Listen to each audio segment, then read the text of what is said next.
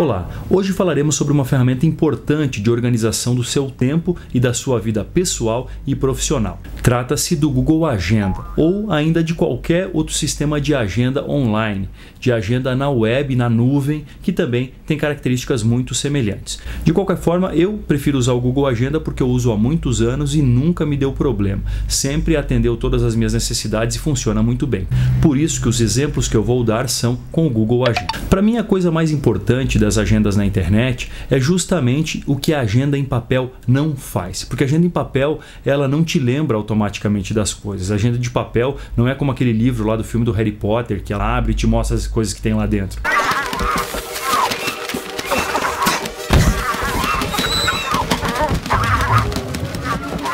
Mas a agenda na web vai fazer isso. Por quê? Porque se você esquecer algum compromisso, ela pode te mandar um e-mail te lembrando.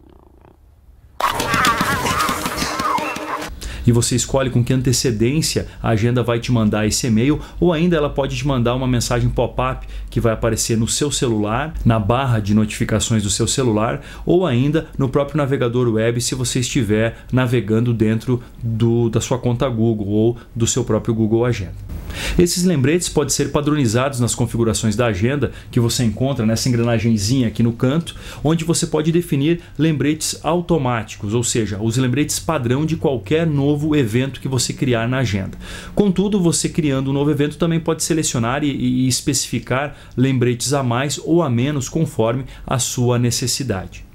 Por exemplo, você pode pedir para te lembrar de um compromisso uma semana antes por e-mail, três dias antes de novo por e-mail e aí cinco horas antes por mensagem pop-up que vai aparecer no seu celular na barra de notificações. Ou ainda você pode colocar mais lembretes ou menos lembretes. Pode até não ter lembrete nenhum se você quiser, mas essa parte dos lembretes ajuda muito a fazer com que você nunca mais esqueça de nenhum evento importante.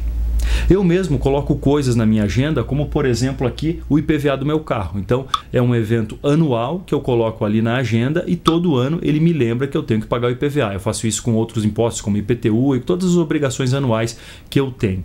Além disso, é muito interessante você colocar os aniversários das pessoas que você se importa, assim você não esquece nunca mais o aniversário de ninguém. E aí você utiliza tanto para esses eventos anuais, que são eventos recorrentes, como para os aniversários, que também são anuais, a não ser que a pessoa faça aniversário mais de uma vez por ano, é, você pode utilizar uma ferramenta muito interessante dessas agendas na web, que é justamente a recorrência, onde você vai criar o evento uma vez e simplesmente definir que ele vai se repetir anualmente na mesma data. Então você não precisa criar o evento todos os anos ou ir avançando para os anos e, e, e criando eventos novos a cada ano. Não, você coloca o aniversário de uma pessoa, por exemplo, uma única vez e coloca lá para repetir esse evento anualmente. O mesmo eu faço, por exemplo, com o IPVA ou com o IPTU ou com outras obrigações que eu tenho cadastradas anualmente na minha agenda. Essa recorrência também serve para outros tipos de situações. Por exemplo, aqui eu tenho algumas aulas cadastradas, já que eu sou professor, então eu tenho algumas aulas cadastradas que são aulas semanais. Então eu criei a aula no horário definido do início e do fim dessa aula, e aí eu coloquei para repetir semanalmente. Então ele automaticamente cria os eventos semanais na minha agenda e eu não preciso me preocupar em colocar lá todas as 18 aulas, por exemplo, manualmente. Eu coloco uma vez só, mando repetir durante 18 semanas e a agenda faz isso e cria esses eventos automaticamente e toda semana, a cada evento, ela vai me lembrar, dentro daqueles lembretes pré-definidos que eu coloquei, que aquela aula vai acontecer dali tanto tempo. Então isso ajuda muito quem tem muitos compromissos.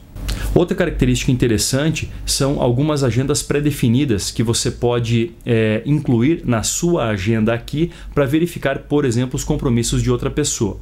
Eu não tenho isso na minha agenda, mas eu, por exemplo, assino uma agenda dos feriados no Brasil. Então, todos os feriados no Brasil aparecem destacados aqui para mim. Essa agenda eu posso clicar em cima dela e habilitar ou desabilitar essa opção a qualquer momento. Então, se a agenda estiver muito poluída, com muitas informações, eu posso desabilitar cada uma das agendas que eu tenho ali e então fica mais fácil de eu trabalhar. Outro ponto é que você pode criar duas agendas, por exemplo, para os seus compromissos particulares e outro para os seus compromissos profissionais. Na prática, isso não ajuda muito, mas se você tiver realmente muitos compromissos, você pode então escolher, tendo duas agendas, apenas ver os compromissos da agenda pessoal e depois, por exemplo, apenas ver os compromissos da agenda profissional. Então você pode fazer essa escolha se você tiver separado em duas agendas. Eu acho que eu não tenho tantos compromissos assim, então eu tenho uma agenda só para tudo. Além disso, se você quiser explorar um pouquinho mais o potencial da agenda, você pode trabalhar nela em conjunto com as tarefas. Então também você pode visualizar as suas tarefas incluídas na agenda. Então, testa aí no Google Agenda que vale a pena verificar essas características mais avançadas.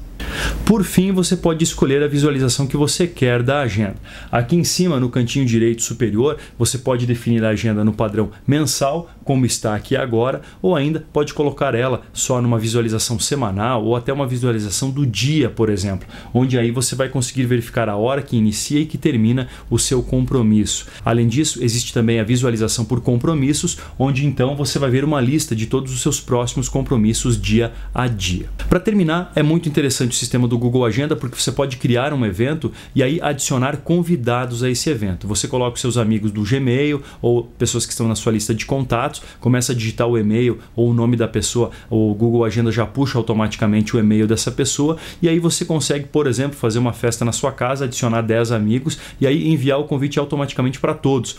Inclusive, as pessoas vão poder dizer se vão ou não vão para o evento na sua casa e também você vai ter esse controle de quem vai e quem não vai. Além disso, você pode colocar para lembrar essas pessoas lá nos lembretes um dia antes do evento ou três dias antes do evento, depois no dia do evento e aí facilita a comunicação com todo mundo. Bom, é isso, não tem muitas informações para falar sobre o Google Agenda ou sobre as agendas na internet, mas isso que eu comentei da, dos lembretes da recorrência e também de você poder convidar pessoas para os eventos são três das características fundamentais e muito interessantes que esse tipo de sistema pode te oferecer. Além disso, se você criar o hábito de usar o Google Agenda e cadastrar os seus compromissos aqui, nunca mais você vai esquecer de nada. E isso é fundamental para qualquer profissional bem sucedido atualmente. Tchau!